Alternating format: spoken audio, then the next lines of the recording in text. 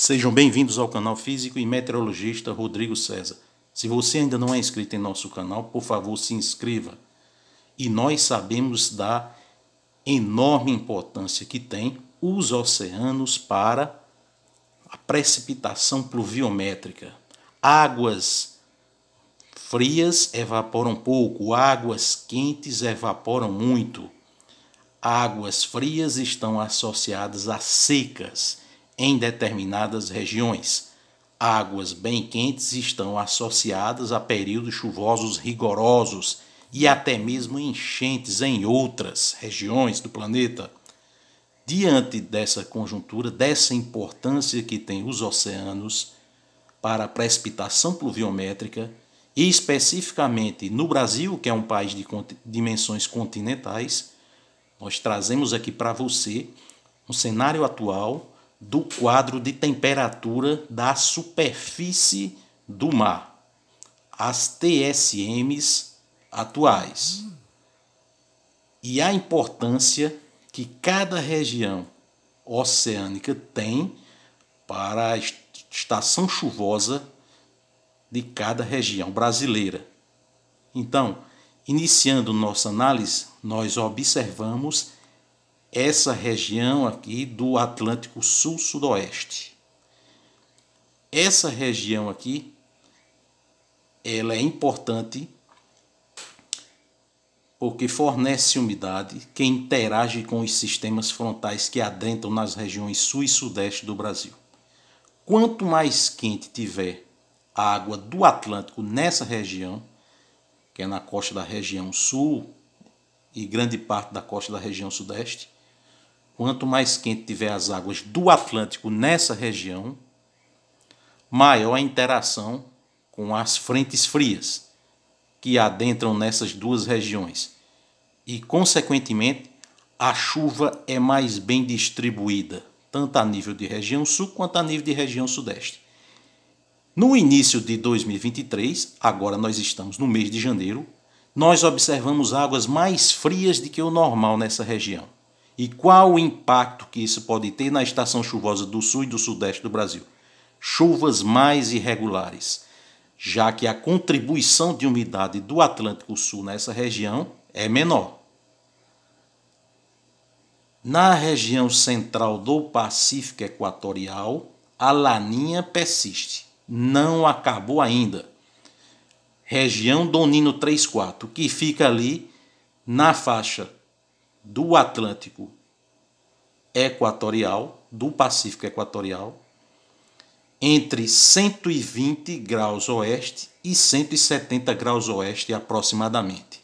Atualmente, a região do Nino 34 está com cerca de 1 grau aproximadamente de desvio de temperatura abaixo da média. Ou seja, o fenômeno climático e oceânico Laninha persiste e segue influenciando as condições do tempo sobre o norte das regiões norte e nordeste do Brasil.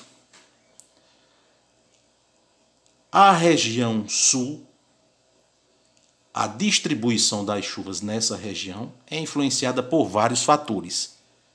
E o principal deles é a temperatura das águas do Oceano Pacífico na região do Nino 1-2, que é essa região que fica na costa do Equador e do Peru. O que tem sido observado recentemente é que na costa do Equador as anomalias de temperatura estão positivas, ou seja, na costa do Equador a temperatura do Pacífico está quente, mas na costa do Peru, nos últimos dias especificamente, está havendo ressurgência de águas mais frias do que o normal. Então, na costa do Peru, as águas estão mais frias do que o normal. Qual a conclusão que podemos tirar desse cenário? Chuvas irregulares, mal distribuídas, com grande irregularidade na distribuição espacial e temporal para a região sul do Brasil nos próximos dias, nos próximos meses. Essa é a conjuntura que a gente pode tirar. Pode concluir. Então, na costa do Equador e do Peru, esse cenário indica chuvas irregulares para o sul do Brasil, ainda nos próximos meses. No nordeste do Brasil, a estação chuvosa da região, especificamente do semiárido do setor norte, do qual faz parte o semiárido do, do Pernambuco, da Paraíba, do Rio Grande do Norte, do Ceará e o extremo norte da Bahia, a estação chuvosa dessa região depende demais do Atlântico Sul, na altura da costa leste do Nordeste, bem quente durante a quadra chuvosa de fevereiro a maio. Nós estamos nos aproximando da metade de janeiro e o Atlântico Sul, na altura da costa leste do Nordeste, ainda não está suficientemente quente. Ou seja, o cenário para as chuvas do semiárido do setor norte do Nordeste ainda se mostra indefinido para o ano de 2023. A quadra chuvosa, que é de fevereiro a maio, se mostra ainda indefinida. Aqui é o Atlântico Norte. Nós observamos anomalias de temperatura abaixo da média, temperatura abaixo da média para o Atlântico Norte.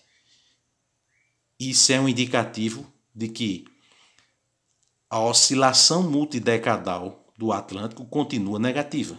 Isso é bom, um aspecto positivo para a chuva do semiárido do setor norte Nordeste pois em caso de formação de um dipolo favorável para a chuva, ocorre um posicionamento da zona de convergência intertropical, que é o principal sistema gerador de chuva no semiárido do setor norte-nordeste de fevereiro a maio, algo que vai fazer com que ocorra chuva acima da média em grande parte do semiárido do setor norte nordeste durante a sua estação chuvosa, repito que é de fevereiro a maio.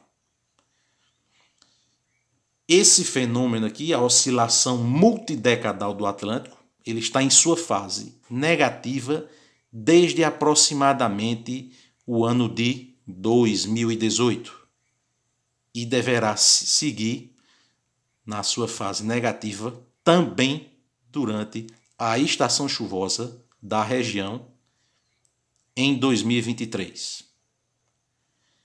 Então, isso aqui é um cenário mostrando atualmente as condições de temperatura da superfície dos oceanos e a influência que cada uma dessas regiões oceânicas tem nas, em estações chuvosas de diferentes regiões brasileiras.